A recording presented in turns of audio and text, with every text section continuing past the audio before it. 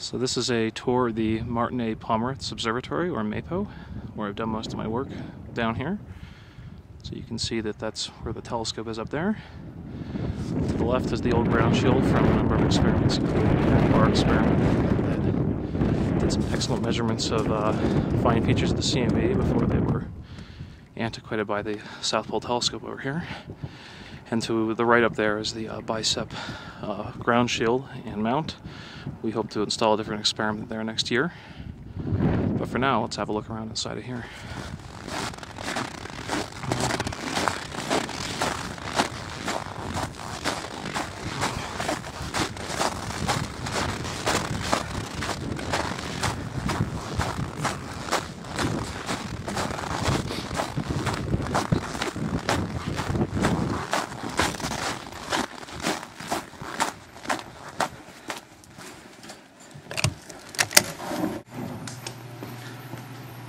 So the bottom floor here is a basically a machine shop, a very nice one.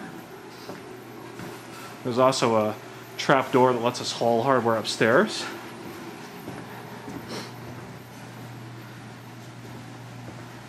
So we normally have a uh, in-house machinist who helps us with things, but he's currently on vacation back in Tasmania, so we're on our own here. That's all right.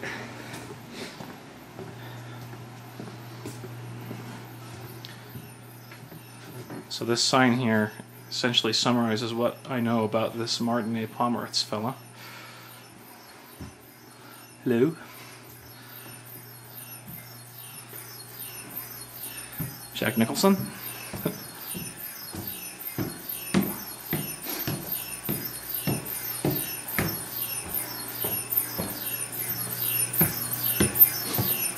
Hello, Howard.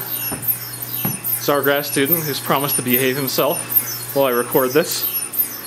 So you can hear that squeaking noise, which is the sound of our pulse tubes making these cameras cold. These are two of the five cameras that we would normally have up on the mount, but they're in the lab being retrofitted. So that system is essentially compressing helium, sending it down to our cold electronics, and then expanding to absorb heat, and then being sucked back out to uh, to the room temperature stage. So this is our lab where we do a lot of our our testing and integration work. Fairly cozy, given that we sometimes have three or four of these things in here, and then maybe six or seven people working on it. We have a spare room off the side here. This actually not ours. We have to give up pretty soon. There's another team that arrived today, so we have a lot of hardware we have to pull back in here.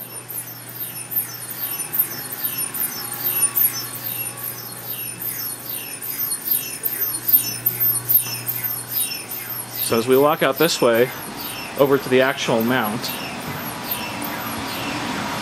we're actually entering a separate building with a separate electrical system, which makes it much, much better noise for us. So here's where the actual telescope is.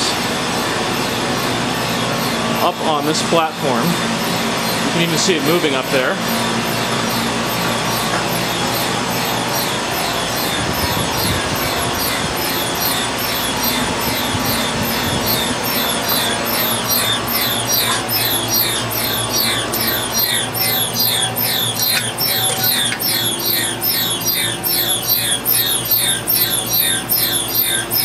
See there are two cameras installed currently. The other three are down the lab. And this whole thing is scanning back and forth. And just up through there is outside. So this whole platform is rotating parallel to the horizon or in azimuth. There's also gears here that allow it to move up in elevation. And finally, those cameras there can spin around bore sight as well.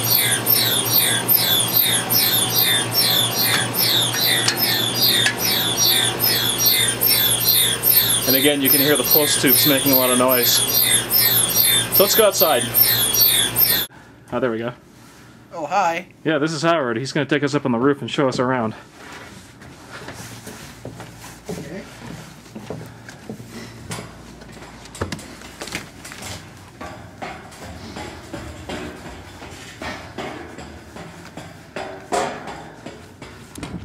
Yeah, this is our telescope. This is the ground truth. Yep. We probably shouldn't go inside since it's taking measurements. You're probably right. Yes. So you can see the telescope is scanning. And we have two out of five That's right. up there in the mountain. So this thing basically scans back and forth parallel to the horizon, and then it steps up or down in elevation and repeats. And we are Right looking. now it's looking at the source up there. That's right. There's a source on a mast. We're using this to map out our beams so we can understand whether or not our cameras are responding to stray radiation at weird angles. It's cold here. It is very cold here.